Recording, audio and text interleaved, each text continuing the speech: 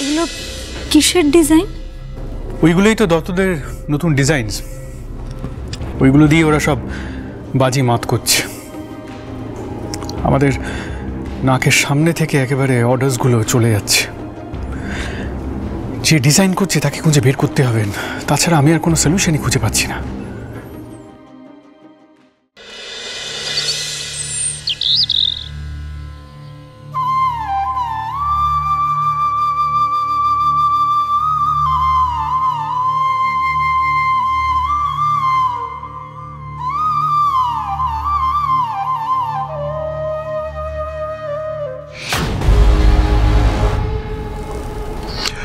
Hello Rahul বলছি।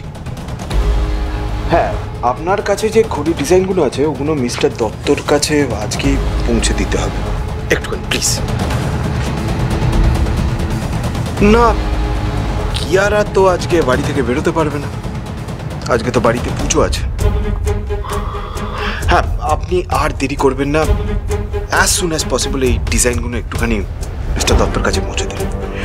এরপরে আপনাকে কি করতে হবে সেটা কালকে আপনাকে আমি ইনফর্ম করছি। হুম? ওকে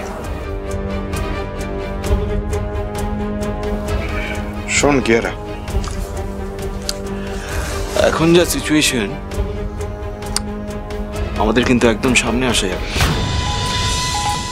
মেসি হ্যাঁ এনে সব পুজোর জিনিস আছে। আমি লিস্ট মিলিয়ে সব নিয়ে এসেছি তবুও তো একবার দেখে নিস হ্যাঁ? তুই থাকলে আমাকে কোনো কিছু নিয়ে চিন্তা করতে হয় না। তুই কেন চাপ নিচ্ছিস মেজদি?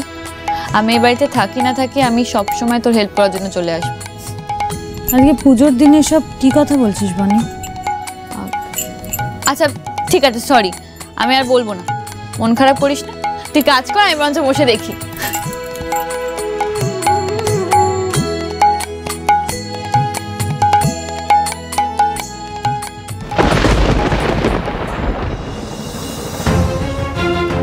আপনার অ্যাডভান্স আচ্ছা বসবাবু একটা কথা একটু জানার ছিল। এগুলো কাদের জন্য? মানে এক কথায় এতগুলো টাকা ওনারা দিয়ে দিচ্ছেন তাই জানতে ইচ্ছা করছে। দেখুন আপনি ফল খাবেন। গাছ গুনে কি লাভ? সেই প্রথম থেকে আমি শুধু বোসবাবুকেই আমার আঁকা ডিজাইনগুলো দিতাম। কিন্তু উনি সেটা কার জন্য নিচ্ছেন? কোথায় দিচ্ছেন? কিছুই তো জানতাম না। তার উপর উনি ইদানিং দুম করে এত টাকা বাড়িয়ে দিলেন আমায়। কেন? কোথাও না কোথাও একটা গোলমাল তো হচ্ছে। না হলে ওই দত্তদের সাবেকি গয়নার ডিজাইনের সাথে আমার ডিজাইনের হুবহু মিল কি করে থাকতে পারে। আজই আমাকে বুসবাবুর সাথে একবার কথা বলতে হবে। আমাকে জানতে হবে উনি আমার ডিজাইন কাকে বিক্রি করেন। কেই বা আমার ডিজাইন নকল করছে।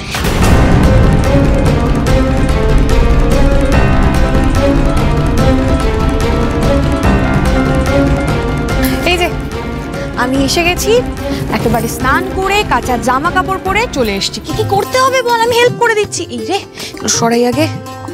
আচ্ছা ভালো আছে। শোন না দিদি বলছি যে তুই একটু মালাগুলো গেঁথে ফেল আর তারপর একটু পুজোর বাসনগুলো ধুয়ে দিস কেমন? ওকে করে দিচ্ছি এখন।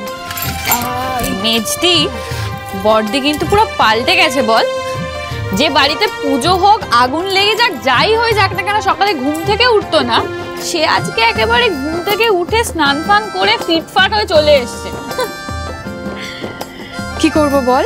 সময়ের সাথে তো সবাইকে পাল্টাতে হয়। এই দেখ, তুই আর খড়ি, তোরাও কিন্তু পাল্টে গেছিস।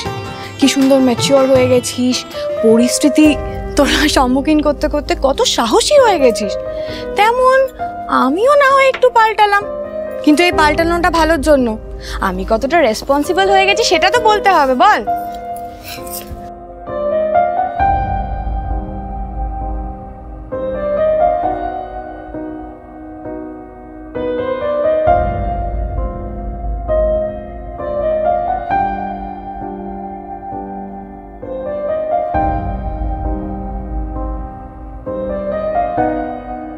দেখেছ ছোট বৌদি? এবছর আমরা আসার আগেই ওরা তিন বোন মিলে কি সুন্দর পুজোর সমস্ত আয়োজন করে ফেলেছে? এবার আমি বুঝতে পারছি। বাবা একদম যোগ্য মানুষের হাতেই দায়িত্ব তুলে দিয়েছে। সেই তো। বাবা মা তো অলওয়েজ যোগ্য মানুষের হাতেই দায়িত্ব তুলে দেয়। ঘরের এমনি সব ঠিক আছে। শুধু আমার ছেলের বিয়েটা ওর হাতে ছেড়েই পুরো সর্বনাশ হয়ে গেল। আচ্ছা আজকে তো একটা পুজোর দিন। আজকে ওই সমস্ত কথাগুলো বলতে ইচ্ছে করছে। ছাড়ো না। একটু হাসি খুশি থাকার চেষ্টা করো না প্লিজ। দেখবে ভালো লাগবে। খড়ি তোমাদের ভট্টাচার্য বোনেদের কিন্তু প্রচুর গুণ এটা মানতেই হবে। কি সুন্দর সকাল সকাল পুজোর সমস্ত আয়োজন কমপ্লিট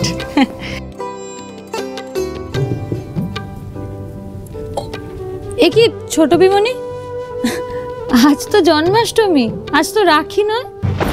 তুমি ঠাকুরের সামনে রাখি রাখলে যে? রাখি তো অনেক দিন আগে চলে গেছে। আসলে বহু বছর হয়ে গেছে আমাদের বাড়িতে রাখি বন্ধ হয়ে গেছে। তাই আজকের এই বিশেষ দিনে আমি আমার ভাইদের মঙ্গল কামনা করে রাধা মাধবের পায়ে রাখিগুলো দিই। কিন্তু রাখি বন্ধ হয়ে গেছে কেন? তোমার দুই দাদা বাবা কাকুমণি দুজনেই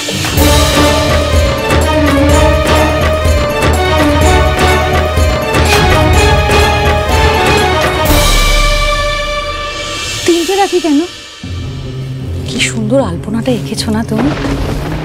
সত্যি তোমার হাতের গুণ কিন্তু খুব ভালো, মানতেই হবে। খুব সুন্দর আলপনাটা আঁকা হয়েছে। ছোট পিসিমণি, আমার প্রশ্নটা এড়িয়ে গেল কেন? শুধু আঁকা কেন?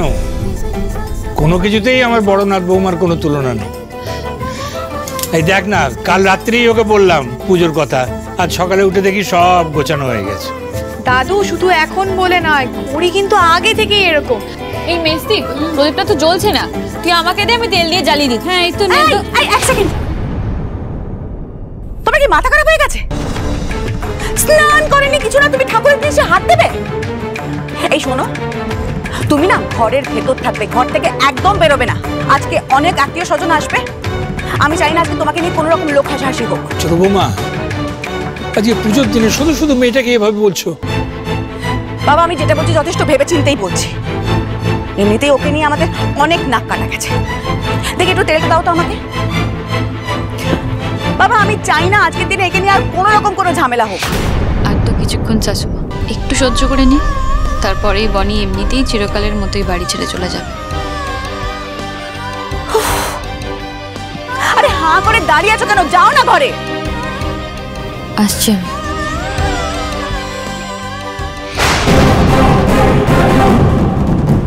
শাশুমা!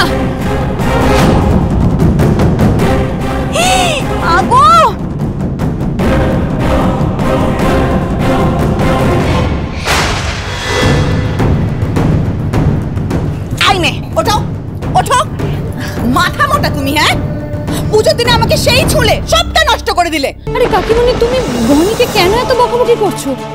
ও তো তোমাকেই বাঁচাতে গেছিল। ছোট মা তোমার আঁচলে আগুন ধরে গেছিল। তুই তো নিজেই খেয়াল করো আরে ওকে কে বলেছে আমায় বাঁচাতে? হ্যাঁ? এগুলো না ওর নাটক। তোরা বুঝিস না কিন্তু আমি বুঝতে পারি। আমার ছেলেকে আমার কাছ থেকে কেড়ে নিয়ে এখন আমাকে বাঁচাচ্ছে না? দেখ মনে মনে চাইছে আমাকে পুড়িয়ে মারতে। এসব তুমি কি বলছো মা? এই শোন কুনাল তুই না তোর বউয়ের হয়ে আমার কাছে সালিশি গাইতে আসবি না। ও যে কি জিনিস না আমার এতদিনে খুব ভালো বোঝা হয়ে গেছে। আসলে কি বলো তো মা? বনিকে দোষ দিতে দিতে তোমার এমন একটা অভ্যাস হয়ে গেছে এখন তোমার বনির ভালো জিনিসটাকেও তোমার খারাপ বলে মনে হচ্ছে। কুনাল বনির জন্য আজকাল তুই মায়ের সাথে এ ধরনের ব্যবহার করছিস কেন? হ্যাঁ বনির সাথে তোর বিয়ে হয়েছে। বউয়ের পাশে দাঁড়াচ্ছিস কথাটা ঠিক। কিন্তু তা বলে বাবা মায়ের সাথে এ ধরনের ব্যবহার করবি তুই? তো ভুলটা কি বললাম বাবা? মা যেটা করছে বনির সাথে এখন তো অন্যায় করছে। বনি ডিজার্ভ করে না এটা। আর মা, তোমাকে বাঁচাতে গিয়ে বনির হাত পুড়ে গেছে।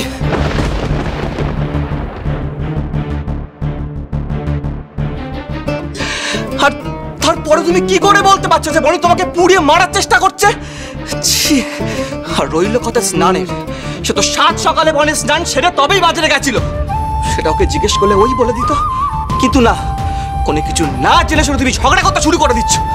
রিডিকিউলাস চলতা হয় চলতা হয় কুণালবাবু। শাশুমা তো এমনি আমাকে পছন্দ করে না। যারা পছন্দ করে না বললে তো হবে না। আর পছন্দ না করলেই কাউকে অযথা অপমান করার অধিকারও কেউ পেয়ে যায় না।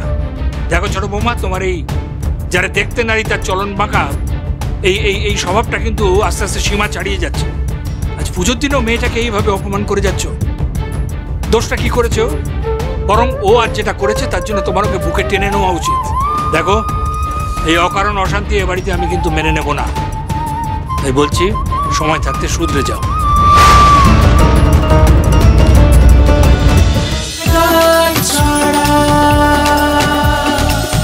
চলো চলো চলো চলো, পাল্টাই।